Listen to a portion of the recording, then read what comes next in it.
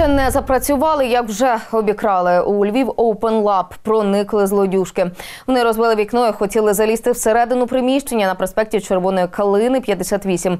Однак їм не вдалося цього зробити. Спрацювала сигналізація, оскільки поряд функціонує віки бібліотека. Зважаючи на те, що проект Львів Open Lab лише на етапі реалізації, там зараз відбувається реконструкція приміщення, то не дуже було що звідти красти. Але щоб не йти з порожніми руками, зловмисники все ж поцупили деякі інструменти.